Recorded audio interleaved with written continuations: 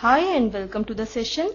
Let us discuss the following question. Question says, what should be the value of a if the value of 2x square plus x minus a equals to 5 when x is equal to 0? Let us now start with the solution. First of all, we will find out value of the given algebraic expression at x is equal to 0. So we can write substituting x is equal to 0 in 2x square plus x minus a we get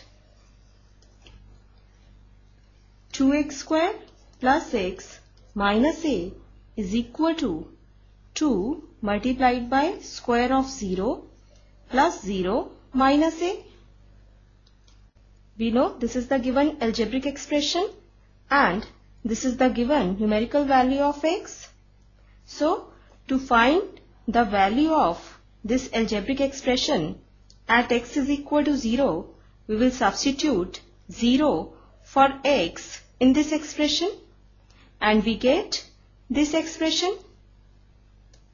Clearly we can see here we have written 0 for x in this expression. Now 2 multiplied by square of 0 is 0 only. We know 0 square is 0 and 2 multiplied by 0 is 0. Now we will write plus 0 as it is and here we will write minus a.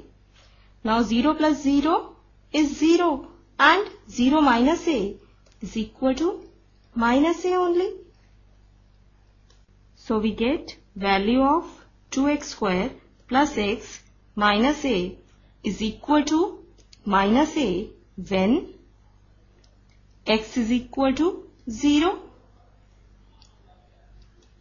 We are also given that value of 2x square plus x minus a is equal to 5 when x is equal to 0.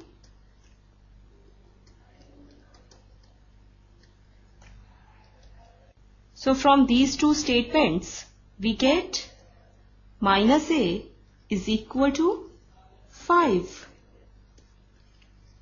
Now multiplying both the sides by minus 1 we get a is equal to minus 5. So required value of A is equal to minus 5. This is our required answer. This completes the session. Hope you understood the solution. Take care and have a nice day.